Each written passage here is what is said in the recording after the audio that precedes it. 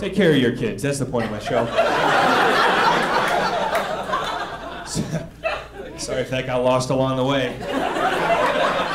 I started there. I have a kid. Take care of your kids. That's the point of it.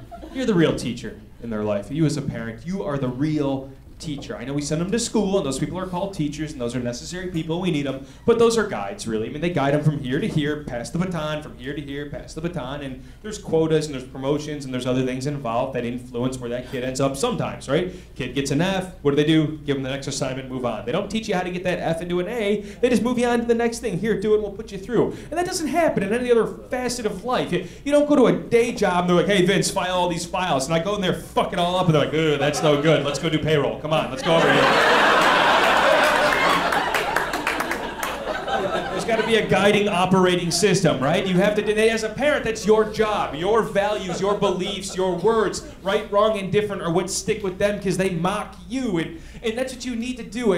I was late to the game in having kids in my inner circle of friends, right? I had a kid later than most of them. And much like anything else in this world, when you do something for a day longer than someone else, you get to talk down to them about it. So all my friends get to offer me unsolicited advice about kids. Like, how old's your kid? Oh, he's two. Oh, the terrible twos, right? You're like, no, I think my kid's pretty great, actually. I don't know what they may. Well, oh, at two, they do get kind of terrible. I, I think there's something wrong with your kid. My kid actually is kind of maybe go pay attention to him and get away from my business, and he'll stop crying out for your attention. Maybe you wouldn't be such a shitty kid then. I don't know what to tell you, but they all just offer this advice. Oh, he's two. He's approaching the why stage, and you're like, well well, what's that? And he's like, oh, this is when they ask why incessantly over and over and over. They annoy you and everything's why, why, why, why, why. But don't worry, they grow out of it. And you're like, wow, I'd actually be more worried if he did grow out of that stage because I think asking why is such an undervalued thing in this country. I think you should be forced to ask why over and over and over again. If you don't understand something, keep digging to the root cause analysis of it. If, if you're sitting there talking to your kid and he gets to the ninth why and you run out of answers, that's because you were trying to bullshit a three year old and he just called you out on it. If you don't know the answer, you can tell him you don't know the answer. You, you don't have to be a super parent with a cape and know everything. You can just say, I don't know. And if you don't want to answer him, you tell him, I don't want to answer this anymore. But you don't sit there and hope he grows out of it, try and bullshit him and show him the shiny red object over here. Ask why over and over and over. You'll both stumble across some learnings in there. Hey, hey, we got to go to your aunt's house this year for Easter. Well, well, why? Because every other year we switch between our house and your aunt's house.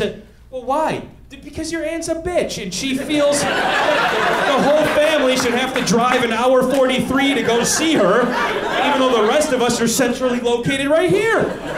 Well, well why? I don't know, because nobody will go see her any other time of the year, I guess. Well, why? Because she's kind of a whore, let's be honest.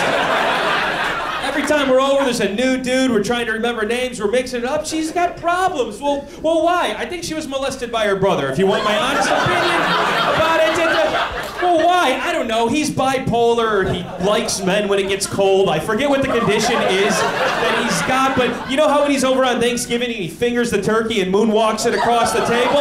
That's not. He wants to keep asking. I'm gonna keep answering. I didn't think about half this shit till he brought it up. We both get to do a little bit of soul searching in here today.